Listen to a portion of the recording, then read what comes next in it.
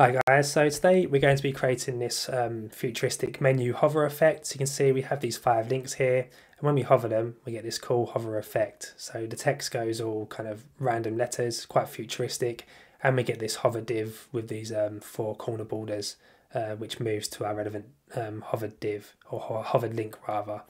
Um, so yeah, it's pretty cool effect I think. Just yeah made using vanilla JavaScript and no libraries or anything. So yeah, let's just jump straight in. Thanks, guys. Okay, guys. So to get started, um, as always, we've got the three usual files. We have an index.html, a style.css file, and an app.js file. Um, we'll go into our index.html first, and we'll just emit some boilerplate code here. Um, zoom in. And then, so the first thing we want to do in our index.html um, is just obviously linked to our style.css. So I'm just going to say in the header or head section, we'll say link and we'll say style.css here. And then we also just want to place a JavaScript. Um, uh, we'll do a script source at the bottom of the body. So say script source with um, dot forward slash app.js.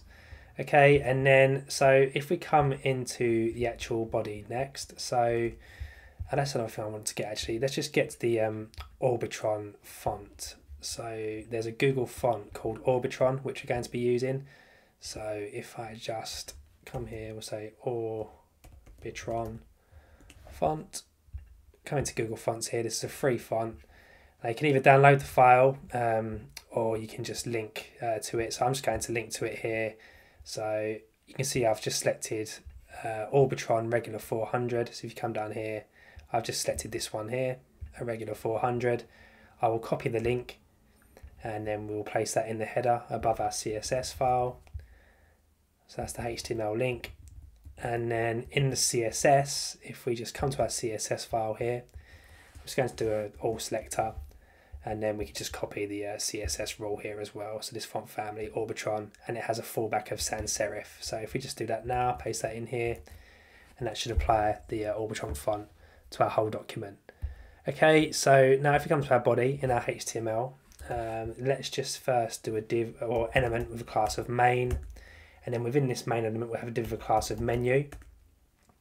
And then in this menu, um, we will have, uh, well, the first thing we want to do is like our hover div, which is the kind of um, square that's going to follow um, or it's going to translate to the link that we're hovered over. So it's going to move to that position and we're going to have we're going to give this hover menu borders in the top left, top right, bottom right, and bottom left uh, areas of the div. So it's like a kind of a nice futuristic hover effect.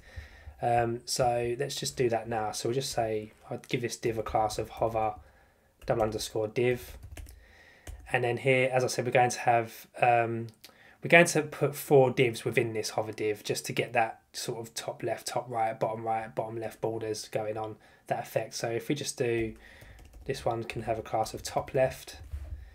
And I'm going to copy this down. Um, and this next one will be a top right. This will be the top right border. And then we'll have a bottom right. And then we'll of course have a bottom left div as well for the bottom left uh, border, corner border. Okay, um, and then under uh, coming out of this um, hover div, once come out of this, underneath that, we're just going to say an unordered list for actual menu items. Then we'll have a list item. These will be links, so you can know, just say A. I'll just give that leave the href for the, the actual link as they are as this for now. Obviously, use whatever links uh, you want to apply uh, to go to the relevant pages. But yeah, we'll just leave this blank for the purpose of this tutorial. And I'll just say home. Copy this down. We'll have five links and we'll just say um, about uh, projects, we'll say blog, and then a contact. Obviously, use whatever links you want uh, for, for your project. That's it for HTML. So if I just remove these lines here and let's open this with Live Server. You can see we have our links in a nice Orbitron font and that's looking good so far. So the next thing I want to do, if we come to our style.css, um, the first thing I want to do is obviously just, um, well, let's just take away this list style. We don't want that for our links. We'll say list style of none. And then here you can see we have this kind of margin uh, and paddings applied by default. So we want to remove those. So we can just say margin, say zero. and then we'll say padding zero as well. That removes the uh, margins and paddings, and we'll say box size and border box. And then we'll also just um, remove the underline. So we'll say text decoration uh, none for these links, and that removes the underlining. And um, so the next thing I want to do is if we, I just want to specify some a root variable actually. So we can just say here, uh, we'll say root, uh, and this will just contain our root variables. And I'll just want to specify a border color here because this is what we're going to be using for our uh, corner borders within our hover div. And we can just give this a color of, um, we'll give it a color of white, but I want to make it slightly transparent. So to do that, we can just um, one, two, three. That should be yeah. Take that out. Okay, and then we can just bring this opacity down here. That should be okay. That should be enough.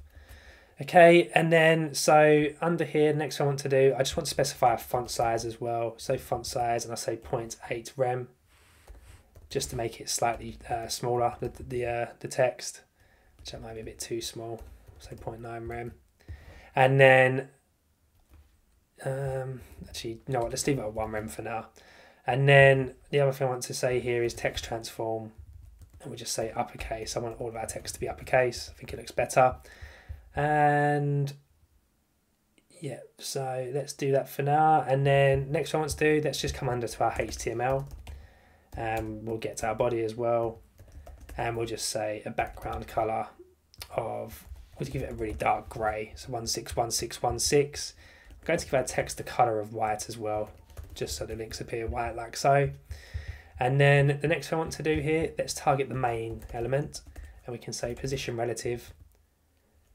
And then we can also just say, um, we'll just say a width of 100% and a height of 100%. and we'll just sorry 100 viewport heights just to fill the um, the page viewport height um, and what we can do here is actually just say SVH just so this works better on mobile devices it accounts for the smaller uh, 100 viewport heights just so on mobile it appears centered as well or our menu will so use that just to account for mobile um, iOS devices and then we can just say display uh, we'll give it a display of flex and then we can say justify content. We're using flex to justify the content center, which we can do here. And then as we're using flexbox, we can just say align item center as well to center them vertically. Okay, and then so kind of underneath this, next I want to do is just target our, um, let's just target our UL next. So we'll say UL, we'll say display flex, and that will just make our links go to the well appear next to each other in a horizontal fashion and then we can just say um, I want to give this a width of 500 pixels. So say width width of 500 pixels like so. And then what I want to say here is um, justify content space between.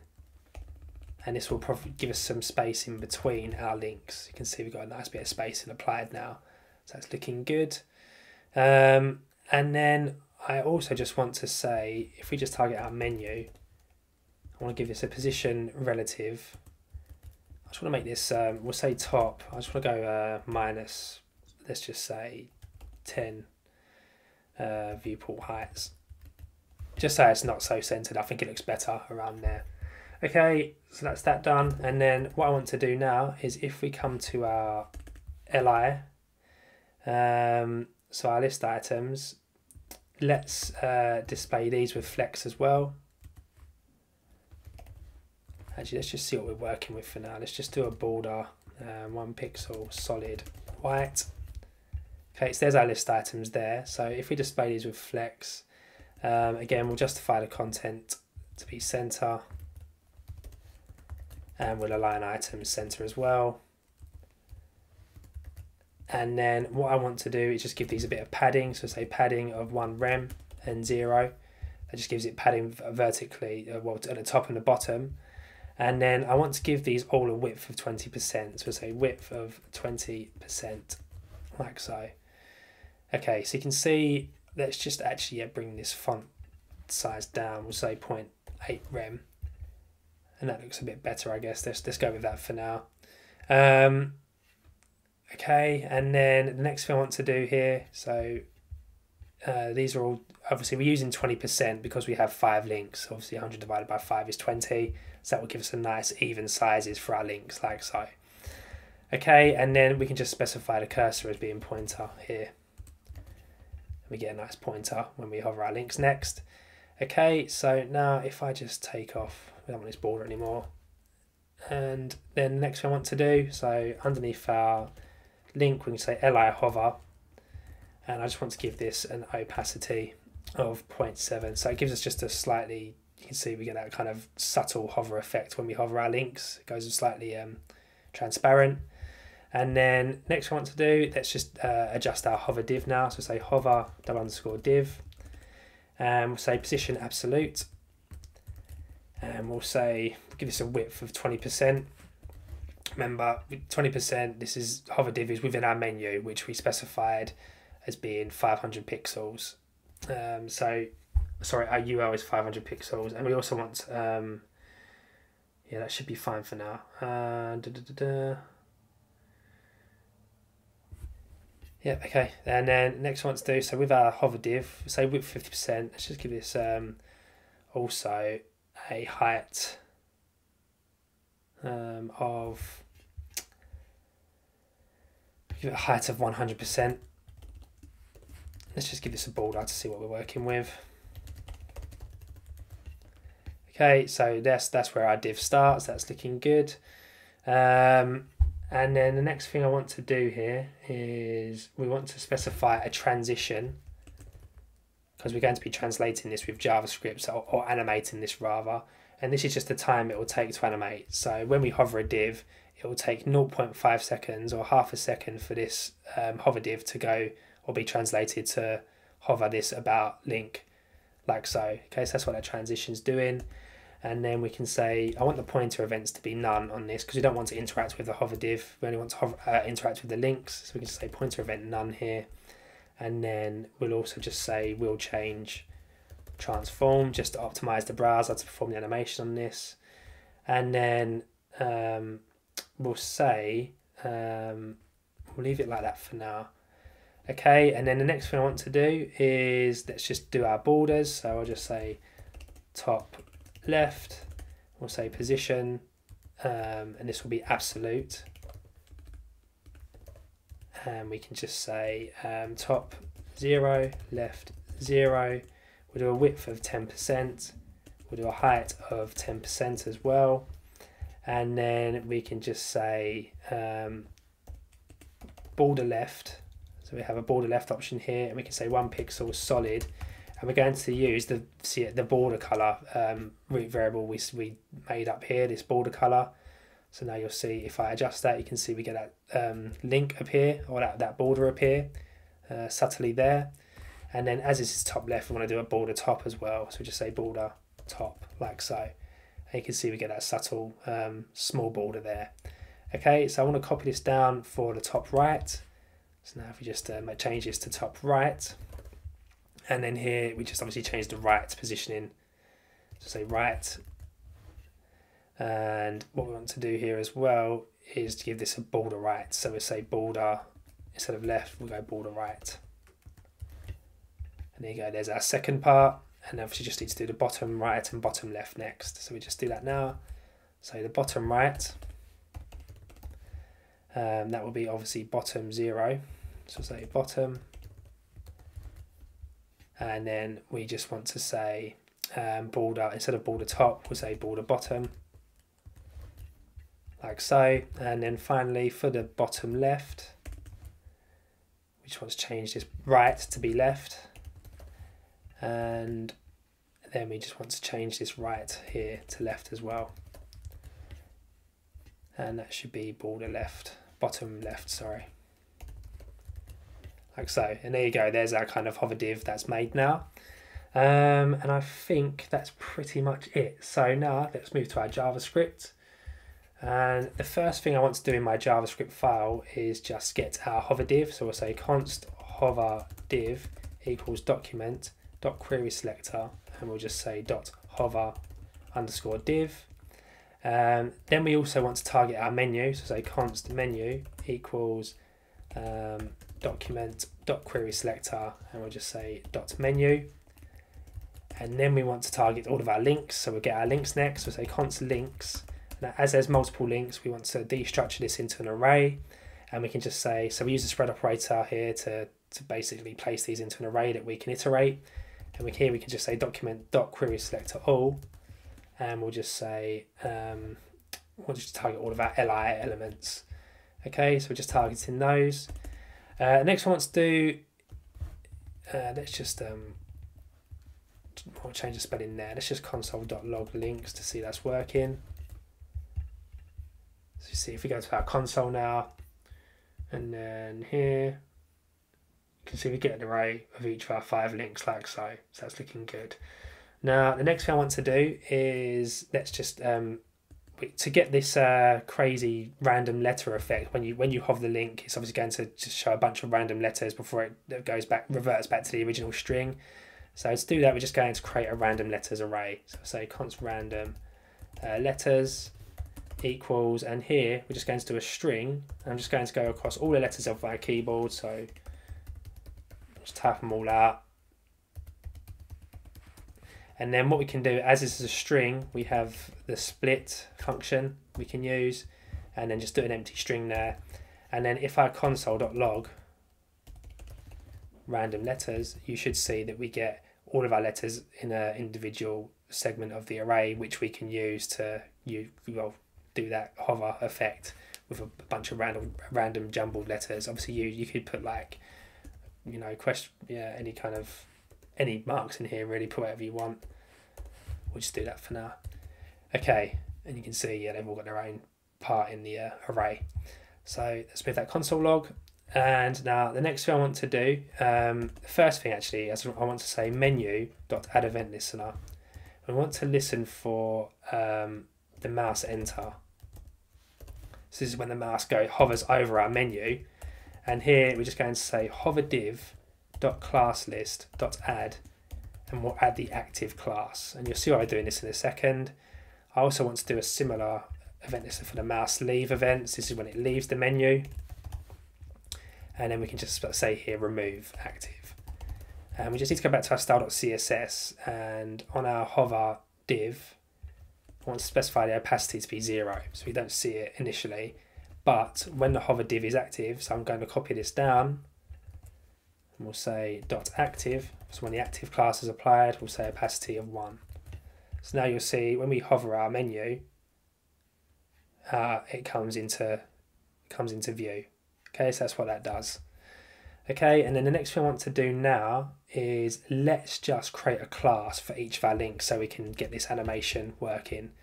Okay, so we'll just say class of link and this will take in a constructor and we're just going to pass in each link element as well as the index as well. And that's, this index will be used to transform the hover div. Okay, so we just want to say this dot L equals the element we pass in. And then we want to say this dot IDX equals the index that we pass in as well. And then we'll say this dot original uh, well, original string equals L dot inner text. Okay, so just to show you here what we want to do at the bottom. So if I just say, because we've obviously got our links up here, we can say links dot for each link. And we want to pass in the index as well. So we'll just do a parentheses there. We'll say link. So the actual link we pass in as well as the index. We'll put it into a function and we'll just say new um, link and then we can pass in the link here as well as that index. Okay, so now if we console.log uh, this dot original string, you should see that we have each of our original strings logged to the console now for each instance of our link that we create. Okay, so that's important that we keep so we can revert back to that original string once the hover effect has finalized or finished. Okay, so now let's just go to um, we want to create a random string of, uh, as well. This will be an array. Say random string, and that's going to equal. We can say this dot l uh, dot inner text and then we can just say dot split like so okay and that will just split our original string into a random array so if we console dot log uh, this dot random string can see now each of our strings are logged to the well they just creates an array out of each of the strings. Okay so now after that we just want to say a variable called, called this dot frame equals zero and you'll see what I'm doing this shortly. And then we're going to create um, uh, a, a, method called add uh, hover event. And we'll call that here and then we'll just state this down here. So add hover event okay so what this is going to do this method the first we want to do is just say we want to add an event listener to our uh, each of our links. So a mouse enter event. So we'll say this dot l dot add event listener. Want to listen for a mouse enter. So when our mouse hovers over the link.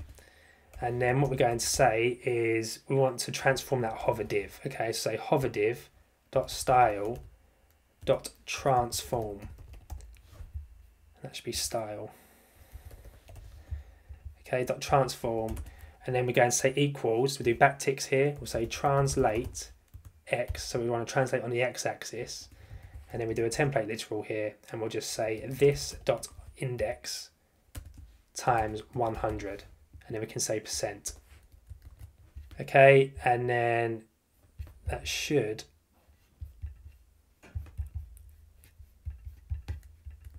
Okay, so this is the hover event. Um, okay, so let's just um, console.log, see what's going on here. Console.log this dot index. See what the link we hover over, uh, we get the index log. So this is the first index, second index, third index, and fourth index. Now, what we want to do here, um, let me just see, we got our menu. Where's our menu? Okay, there's our menu. So we want to, we've got our hover div. Let me just console.log that to make sure that is. Okay, there's a hover div. So equals translate x. And that should be transform, not transform. So now you can see our hover div goes over the relevant link when we hover the link item. So that's what we're doing there. And we have to specify, we're, we're just basically taking that index, timesing it by 100 for the percentage. So here it's at 0%, then we're moving it 100% to the right, then 200%, 300%, and 400%. And that's how that effect works. So that's looking good. Now, the next thing I want to do is we'll just say um, mouse leave as well. Um, actually, let's create another method in here. We'll just say animate for the time being. So say animate. And then what we're going to say in this animate, because we want to get that now that, that random string or that random character effect. So to do that, um, we're just going to say first, um, we'll say if, um, so in our animate function, we'll say if this dot frame, so remember we specified this frame up here, we'll say if it's less than 30, then we want to run this effect, okay? So we'll say, we'll do another if statement here as well. Actually, no, we won't for now. We'll just do a for loop, sorry. We'll say for let i equal 0, and whilst i is less than this dot random string dot length we'll say uh, i plus plus and then what we want to do we'll just say this dot random string i so we're basically we're just going to iterate for a random string and just change the letters to a random character change uh, yeah change each letter to a random character so what we can say here equals then we want to use our random letters um, array that we initiated up here. And then we can say here, want to just um, get a random character from that array. So to do that, we can say math.floor. Then we'll put that in parentheses. We'll say math math.random. Um, and then we want to just times that by the random letters dot length times random letters dot length like so Okay, and then what we can say here after that, we'll come out of this for loop and we'll just say this dot L dot inner text uh, equals this dot random string okay dot join. So once join the array of that random string and put an empty string in there. So um, what we want to do now is when we do the mouse enter we can just say uh, this dot animate.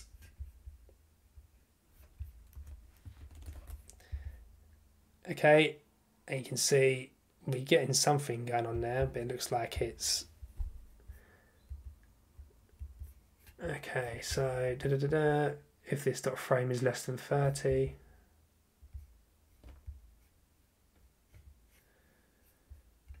Okay, um, and then what we need to do out of here is we need to request an animation frame as well. So we'll just say, um, yeah, we'll just do um, join, and then we can say uh, this dot, yeah, we'll say request animation frame, and we'll just say this dot animate, and we need to bind the this keyword just to make sure it knows or JavaScript knows to initiate this animate within this instance of the link okay? So now you can see we get that just occurring over and over again that jumbled letter effect. Okay so it's looking good now what I want to do is I want we need to just make this stop after a while so what I'm going to say is um, this dot frame plus plus because I only want this to go up to 30. So you can see that's what we're doing here. We're saying if this dot frame is less than 30, then process this, otherwise stop. So it gets to 30 and then it stops, okay? And then the next thing I want to do here is I'm also, I think this is too much. I don't want this to be, you know, translating like that too quickly. So what we can do is in this if statement, I'm also going to say if this dot frame mod 3 equals 0, then we'll run this. And you'll see what this does. So then what we can do is we can put the for loop in within this other if statement. And then we can also apply this, this to L inner text outside that for loop. And then that should be enough. So now if we come out, you'll see that it's it slightly slows down the effect. You don't get it so quickly. The letters don't change so much. And then what else you need to do, obviously, is if it's greater, if the frame is greater than 30, then we want to just go back to our original string. So we'll come out, we'll say else here, and then we'll just say this dot l dot inner text equals this dot original string. So now you can see it goes back to the original string. Okay, but it doesn't work. So what we need to do is also reset the frame when we leave the link. So we can do that now. We'll just say um, we'll just come up here and we'll just say this dot l dot add event listener and then we'll listen out for a mouse leave and then we can just say here uh, this dot frame equals zero and then I also just want to set a timeout as well